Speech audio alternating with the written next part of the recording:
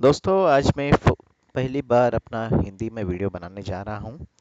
सो so, काफ़ी काफ़ी time से दोस्तों ने रिक्वेस्ट भेजी है कि आप हिंदी में वीडियोस क्यों नहीं बनाते हो। सो so, ये मेरा पहला वीडियो है हिंदी में। आपको होप आपको ये पसंद आ जाएगा। सो uh, so, आज मैं आपको दिखाना चाह रहा हूँ कि जब भी आप नया वीडियोस या फिर नया यूट्यूब चैनल चालू करते हैं तो उसके कमेंट्स इनेबल कैसे करें? ताकि आपके जो व्यूअर्स हैं वो आपको अच्छे लाइक्स या कमेंट्स कैसे पास कर सकें। सो so, उसके लिए क्या करना चाहिए? पहले तो आपको यूट्यूब चैनल पे लॉगिन करें।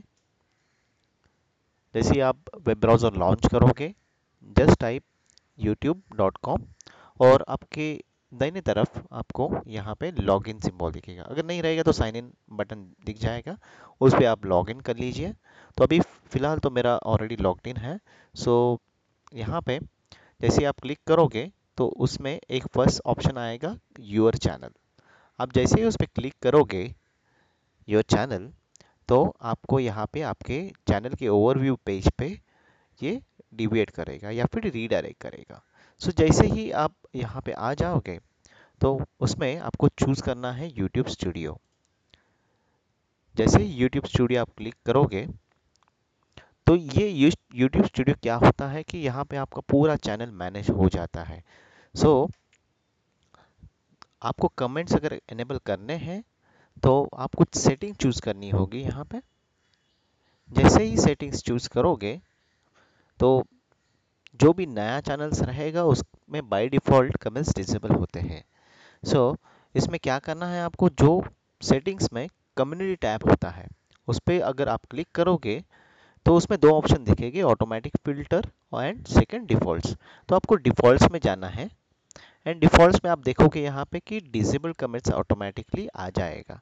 अगर नहीं है तो आपको चूज़ करना है अप्रोप्रिएट एक्शंस तो आप इसमें अलाउ ऑल कमेंट्स कर सकते हो।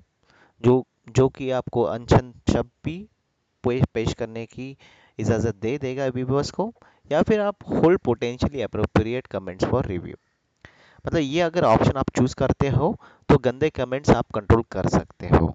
सो so, बेटर है कि आप यही ऑप्शन चूज़ करें अपने वीडियोस पे। एंड सेकंड अगर आप कोई डिस्कशन टैब चला रहे हो तो उस टाइम पे भी आपको ये सिलेक्ट करना है।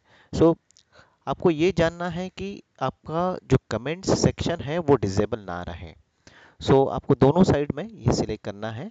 एंड तीसरा जो है अगर आप लाइव चैट कर रहे हो या फिर लाइव वीडियो में अगर आपके इसमें कमेंट्स आ रहे हैं तो उसके लिए भी potentially inappropriate chat message आपको सिलेक्ट करना है। और जैसे ये सेटिंग्स हो जाएगी आपको ये स्टूडियो में सेव करना है।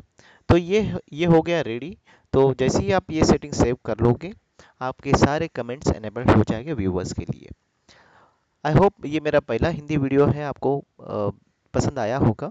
तो अगर पसंद आता है तो प्लीज़ सब्सक्राइब करें मेरे चैनल को and you will get more videos from this and thanks for watching this.